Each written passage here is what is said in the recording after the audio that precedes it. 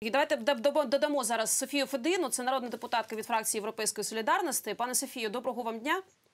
Доброго дня. Да, давайте почуємо тепер вашу точку зору з приводу е, мети от такої великої кількості справ е, щодо е, президента Порошенка п'ятого, е, враховуючи те, що поки що його не визнають е, винним в будь-яких е, конкретних справах. А більш того, з 18 справ він проходить як свідок.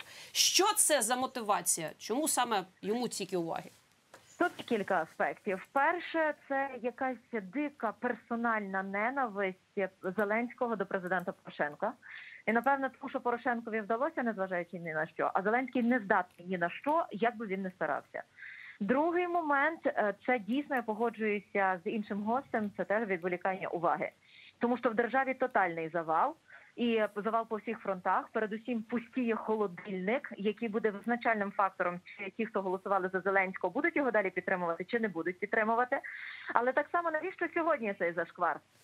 А тому, що президент Зеленський не тільки договорився до ручки в своєму інтерв'ю, що він хотів заразитися коронавірусом, що треба ще визначати, чи це було посягання на життя президента, чи невдала спроба самогубства. Але також тому, що було подано зараз до Верховної Ради президентом законопроект про референдум. Згідно з з цим законопроектом 226 голосів монобільшості, наприклад, може вирішити змінювати межі української держави. А це вже, чесно кажучи, державна зрада. І чию він політику реалізовує? Ну явно це не політика на користь української держави. І я думаю, що зокрема від цього зашквару також, або також, щоб воно тихесенько собі пройшло, і люди цього не помітили. Він і відволікає справу цими гучними заявами щодо президента Порошенка. Але я би тут радила, щоб, по-перше, що Зеленський, що генпрокурор, що ДБР, вони читали букву закону, тому що вони перші порушують все, що тільки можна порушити. І тому, як мінімум, в Європейському суді з прав людини це буде однозначно оскаржено. Як мінімум, вся міжнародна спільнота буде бачити цей безпреділ і не захоче мати справу з тими людьми, які персональну помсту амбіцій і задовольнення в хотілок олігархів ставлять на перший план, знищуючи державу. Пані Софія, в мене таке зустрічне запитання. Ви сказали про те, що це особиста неприязнь, і таким чином він всяч всіляко показує, виказує президент Зеленський до Порошенка. Але в мене питання: пам'ятаєте, як е, пан Порошенко відповідав на заклики Зеленського стадіон, так стадіон, здати кров, так здати кров, здати інші аналізи, здати інші аналізи.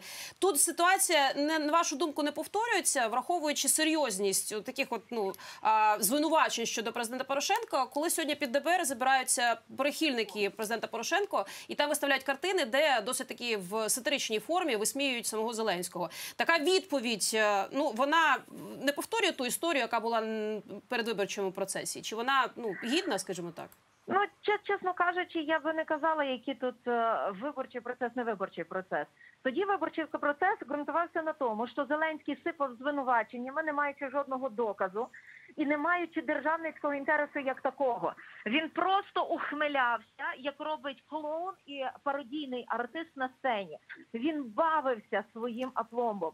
Ви знаєте, якби цей апломб хоча б на один відсоток був підкріплений діями на користь України і українського народу, можливо, ми би це навіть сьогодні не обговорювали.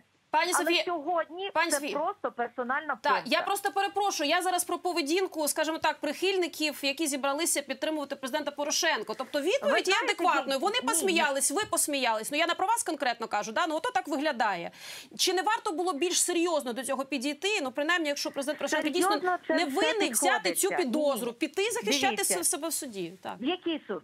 В який суд? Я не знаю, які. Я вас запитую, бо я- ми самі я заплуталися, скільки кажу судів. те, що я бачу по своїй власній справі. Прошу, прошу. Тобто тут в ДБР права немає, в Так. генпрокуратурі права немає. Суди підпорядковуються Зеленському, ДБР і прокуратурі, і образно кажучи. І результат того, якщо ти хочеш захищати свої права, то тебе мусять спочатку засудити, посадити, а потім ти вже можеш звертатися в Європейський суд прав людини. І я вам скажу так: е, справа в тому, що оскільки ми живемо в у вимірі тотального маразму, то відповідати на маразм адекватними думками, логічними поясненнями немає сенсу. Треба бити якраз оцими моментами, які найбільше привертають увагу. Зокрема, і виставка сьогодні активну увагу привернула до цієї проблеми. Ну, бачите, Що так. заставить Мгм. людей більше чи менше думати, а що ж це вибачає, а що ж це відбувається? Бо справа в тому, що я не знаю, чи президент Зеленський думає, що посадить Порошенка, і всі проблеми економічні вирішаться. А так нічого ж не вирішиться. Пані А теж бюджет потребує дофінансування півмільярда гривень. давайте. А, а, Да- я перепрошую, давайте просто дамо ще це. Давай, давайте дамо ще слово е, Руслану Бізяєву, який е, очікує, слухає нас з вами. Пане Руслане, до вас буде більш е, фахове вам питання. А ми зараз говоримо про такі відповіді. Чи це є такий прояв сучасних політтехнологій? Ну, ви до нас з іронією, з сатирою, то й ми до вас. Ну, люди ж люблять таке. Бачите, увагу при, пригорнули, більш того, привернули. І навіть ми звернули увагу на ці картини. Пане Руслан, ця е, стратегія у нас працьовує в нашій Україні до сих пір. Знаете, и до Украины докатилась эпоха политического постмодернизма, когда образ управляет политиком, а не политик управляет образом. Поэтому здесь ничего удивительного, что у нас в политике появляются яркие образы. Это и, собственно, президент Зеленский, это в какой-то степени и Петр Алексеевич, отдаю должное, он за последнее время с точки зрения именно ораторского искусства и актер- и актерского мастерства значительно вырос. Что же касается ненависти и всего остального, то я, с вашего позволения, приведу только два примера. Первый. Товарооборот, товарооборот между Украиной и Россией начал расти с э, июля 2016 года. Это открытая информация, которую вы можете посмотреть на сайте Минфина. Это к вопросу о тому, кто, как и с кем конкретно воевал. Момент второй. Знаменитый скандал с Укроборонпромом. Вы же его помните, да? Одна из фабул этого скандала заключалась в том, что из России в Украину поставлялись лопасти для вертолетов Ми-8. Ми-8 и Ми-8Т. Теперь давайте себе представим ситуацию. Вопрос первый. Где эти лопасти покупались? В московском магазине «Копейка»? Ну хорошо, допустим. Как они переправлялись на территорию Украины? Куда смотрели доблестные правнуки Дзержинского? Продолжать дальше мысль? Я думаю, що зараз до пані Софії ви ж чули відповім, та претензію. Прошу, Так. будь ласка. Справа в тому, що е, ваш гість студії забуває, що саме зараз за моновлади у нас почалося постачання електроенергії з Московської Федерації в той час, коли наші електростанції зупиняються. Стоп, Саме стоп, зараз ми почали Про Ні, саме зараз ми почали закупляти бензин в Московської Федерації, хоча ми цього вже перед цим не робили. Саме зараз хочуть скасувати заборони на в 17 в'їзд. Дозвольте, я скажу, я вас не перебивала. Саме зараз хочуть скасувати Окей. усі заборони на в'їзд сепаратистам, терористам і тим, хто підтримував окупацію Криму і Донбасу. Саме зараз хочуть переписати е, межі суверенної української держави. А з Укроборонпромом, подивіться, ваш Зеленський, перепрошую, він посадив цих людей. Він так багато О, говорив, що їх треба посадити. Він посадив, він зорганізував правовий процес, який дозволить покарати тих, хто дійсно винен. Ні, він не займається жодним із злочинців. Він не не спонукає правову систему в правових рамках розібратися зі злочинцями. Він просто намагається знищити Порошенка. А тепер питання, чому? Бо поза всіма різними нюансами Порошенко будував стратегічно сильну, успішну українську державу. То значить, Зеленському не потрібна сильна, успішна українська держава, тому що йому какая разниця. А мені не какая разниця, в якій державі Пані- жити, як і більшості українців. Пані Софія, можна я вам задам? Пані Софія, Да, я прошу, Руслан, давайте. Секундочку. Я буквально секундочку Да, напомню Мгм. вам, что с 2014, по-моему, с 2017 год, а скажите, пожалуйста, кому мы поставляли эле- электроэнергию в Крым? Как называлось это территориальное образование? Напомните мне, пожалуйста, по документу. А? Я вам напомню. Южно-федеральный округ Российской Федерации. Это к вопросу о территориальной целостности. Э, К вопросу о том, кто кого хотел посадить. Наличие преступления и приговор по преступлению, это, конечно, много общего, но согласитесь, есть же и разница. Вот до сих пор, э, даже спустя 70 лет, э, продолжаются некоторые судебные процессы, связанные с итогами Второй мировой войны. Но это же не, не значит, что там пытаются привлечь к ответственности невинных людей. С чем я с вами согласен, что на данном этапе всем выгодна именно такая ситуация, при которой и Петр Алексеевич, и Зеленский, каждый получает определенные политические дивиденды. Проблема в в том тому, числе що це із все не этой вигідно ситуації. українській Что, в державі. принципе, не означает, можно я закончу, вы как никто другой на примере своего уголовного дела понимаете, что не всегда преступление и наказание это есть одно и то же самое. Поэтому давайте четко разделять как бы правоохранительную систему и наличие фабулы дела. Потому что то, что се- сегодня предъявляет, например, Петру Алексеевичу Посимочка, ну, это ни о чем. Это просто ни о чем с точки зрения того, что ожидало общество. Потому что общество был запрос на первое мир, второе социальную справедливость, и третье все-таки разобраться, виноват Петр Алексеевич или не виноват, и кто кому в данном случае приговор. Если бы ситуация была обратна, то 75% голосов на предыдущих президентских выборах получил бы именно Пе- Петр Алексеевич Порошенко, а не Владимир Ну, давайте Александрович я Зеленский. скажу. И маленькая Так. ремарка, он Софія, ми вас Дуже- слухаємо. та- Так. та. Дуже важливий момент полягає в тому, що люди хотіли миру. За е, рік президентства Зеленського загинуло вдвічі більше військовослужбовців ніж за попередній рік. Люди хотіли миру і щоб е, припинилися обстріли. Московська Федерація продовжує обстріли в той час, як нашим військовим забороняють стріляти і ще й скорочують армію. Люди хотіли жити багато. А зараз в нас наближається не через коронавірус, а передусім через базарну економічну політику. У нас наближається економічний колапс, і невідомо, чи люди будуть отримувати зарплати і пенсії. Ми хотіли жити всі, чесно, всі в достойній державі. А зараз ми живемо в державі клоуна, який вже так бавиться, що не знає, що ще зробити, щоб відволікти увагу людей відосиками. Пані Я абсолютно впевнена, що люди, за кого би вони не голосували, але за оце, що є, вони точно не голосували. І зараз питання в тому, як консолідуються усі політичні сили, відстоюючи право, закон, єдність і саме розбудову адекватної правової держави, яка буде для людей. Пані Софія, можна я вам поставлю два питання? Просто таких так, прошу. конкретних. Та дивіться, а ви сказали про те, що президент Порошенко па- па- Руслане, перепрошую. Президент Порошенко він будував сильну потужну українську державу. Тож це просто ну емоційне емоційне питання. От ну по логіці, да, якщо він будував 5 років сильно потужну державу, чи можна її за 12 місяців зруйнувати? Це перше питання. І інше питання: якщо люди хотіли миру, а президент Зеленський, ну принаймні з того, що він за останній час робить, він не відходить від мінських угод, які е, були підписані і серед іншого президента Порошенка. Що він робить не так, щоб не давати Україні миру? Ну от по конкретиці, прошу. От два, от дві такі тези. Почну з другого угу. питання. Справа в тому, що е, на жаль, є реалістична максима. Хочеш миру, готуйся до війни. Вона дуже спрацьовує в контексті з Московською Федерацією. Ти сильний, ти забезпечений, ти повноздатний, повноцінний в усіх вимірах, що військовому, що економічному, що гуманітарному. Московська Федерація не буде атакувати, бо вони розуміють тільки е, слово сили. За ці п'ять років ми розбудували армію, розробили ракетну програму, здобули міжнародних партнерів, новітні озброєння.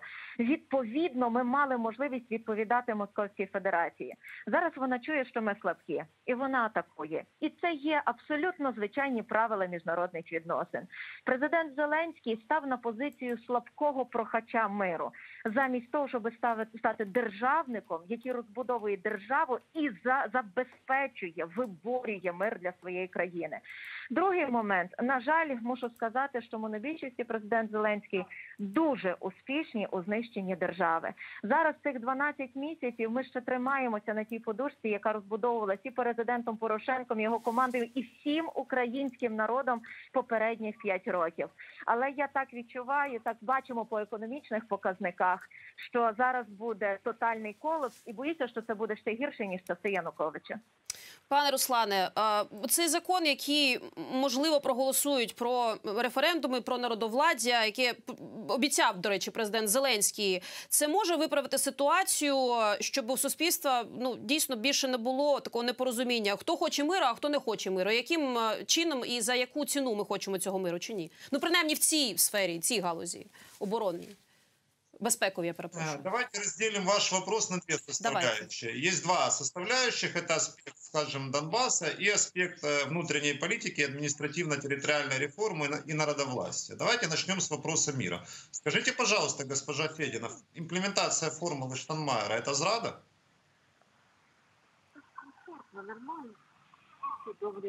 Пані Софія, Е, Перепрошую, можете повторити, бо мені не було чутно. Мгм. Руслане, повторіть, будь ласка. Да, могу повторить. Скажите, пожалуйста, имплементация формулы Штанмайера – это зрада?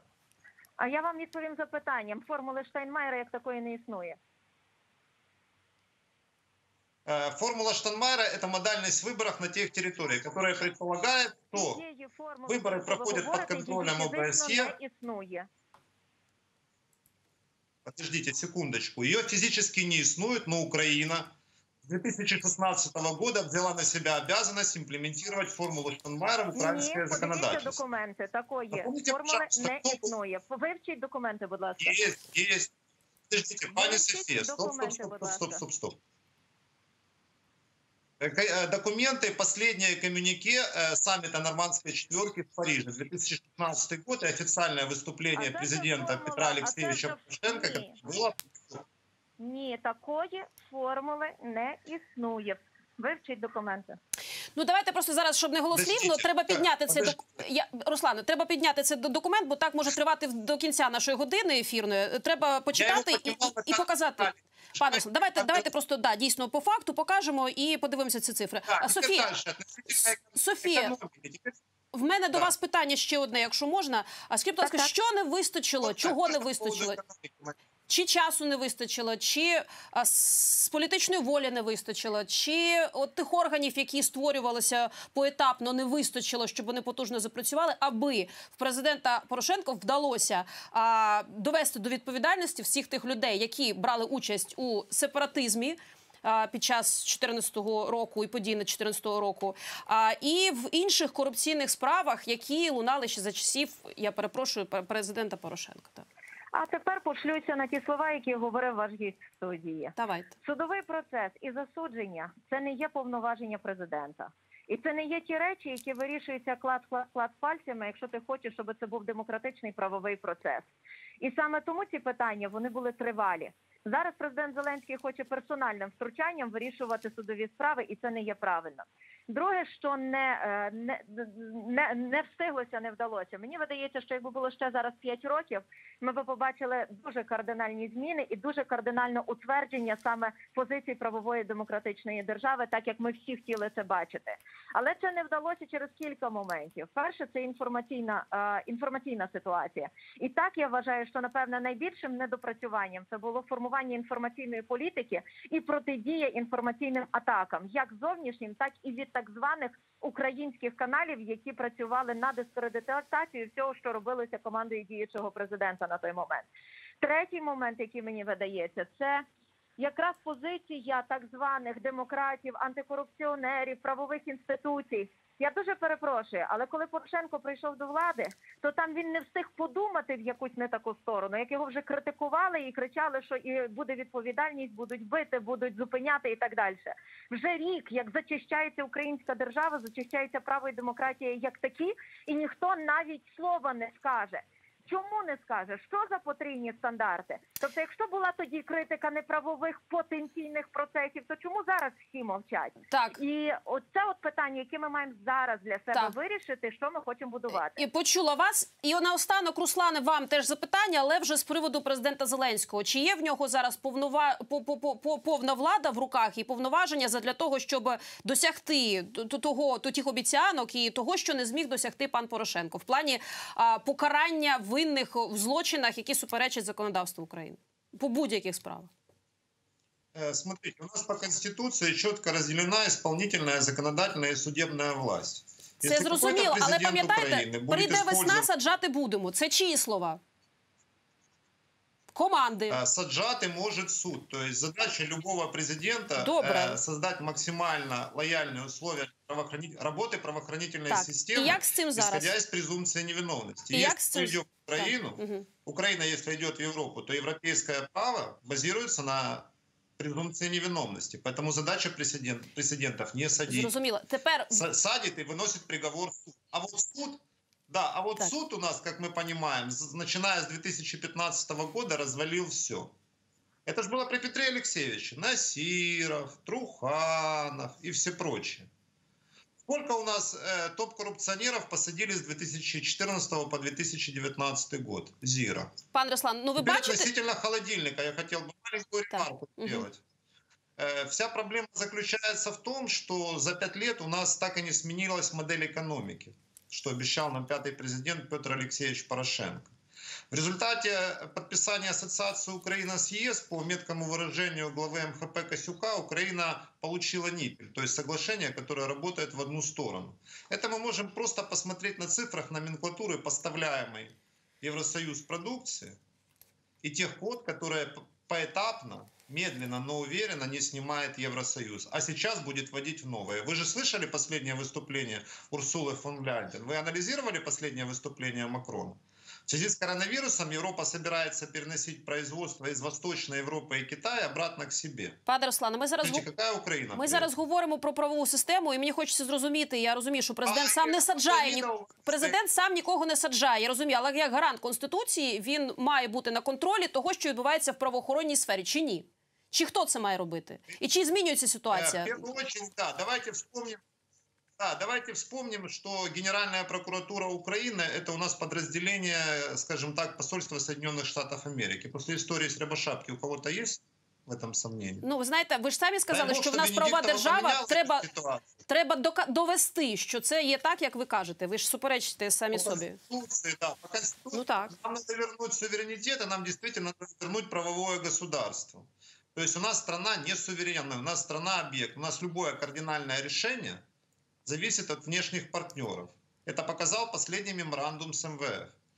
Что теперь даже Кабинет министров Украины не имеет права менять решение наблюдательного совета. Такого даже при Гройсмане Владимире Борисовиче не было, если вы помните. Поэтому говорить о том, что Украина может принять то или иное политическое решение, яркое и важное, у нас на этому, к сожалению, пока нет оснований. Оснований реальных. Не то, что написано в Конституции, не то, что мы хотим, Пани а то, что мы реально можем. Знаете, политика, наверное... Та Да, политика – это же ведь э, логика обстоятельств, а не логика намерений. Пані Софія, про нашу Можете, так. да, суб'єктність і незалежність нашої держави від е, впливу зовнішніх е, гравців. Наскільки це змінилося з часом, і від кого ми дійсно залежимо зараз? До 2014 року ми були об'єктом міжнародних відносин. З 2014 року силами сумарними ми стали суб'єктом міжнародних відносин. І жодне рішення щодо України не приймалося без України на міжнародній арені. Сьогодні без України вирішується майже все. Дякую президенту Зеленському за це. Але я хотіла би сказати важливий момент. Зеленський і його партія отримала несамовитий кредит довіри від людей.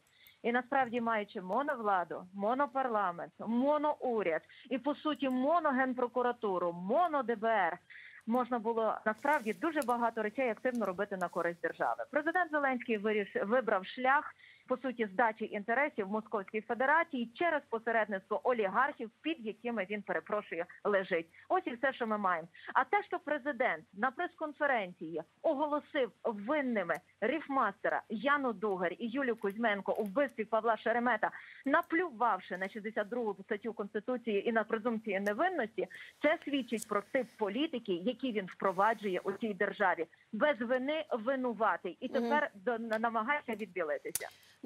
Дякуємо вам за вашу позицію. Дякуємо, Руслан, за ваш е, аналіз. Якраз ви підвели до тієї теми, яку ми зараз продовжимо обговорювати в розрізі сьогоднішніх судових е, справ і засідань. Софія Фодина, народна депутатка від фракції Європейської солідарності,